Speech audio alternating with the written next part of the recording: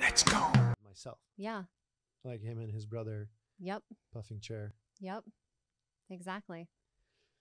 Oh, um, you know their first short, not their first short film, but the one that made it into Sundance. This is John. Yeah. hmm So they filmed that for three dollars because that was the price of the video cassette at the time. hmm And so I'm challenging all of my filmmaking creative friends to the Sundance Challenge, which is make a short film for $3 or under and submit it to Sundance this year. So all of your viewers, I'm now challenging. I just did mine the other day. I did two short films in one day and I three dollars. $3 or less. Okay. Shot. Kids. Shoot on iPhone. Yep. Yep.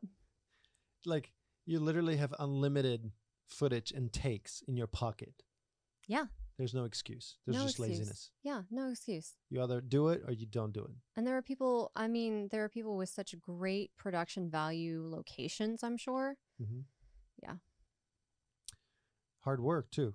Very you got to put in a lot of hard work. You do. Yeah. To tell a good story. hmm Yeah. But it pays off. Like a lot of people always ask me, "Oh, how did you get here? How did you do this? How did?"